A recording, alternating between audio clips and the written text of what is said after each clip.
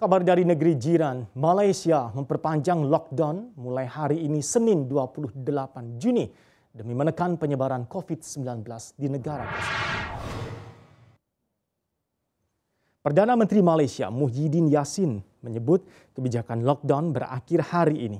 Namun Muhyiddin mengatakan aturan tersebut tidak akan dilonggarkan sampai kasus harian turun di bawah 4.000 kasus per harinya. Pada Sabtu pekan lalu, Malaysia melaporkan 5.803 kasus harian.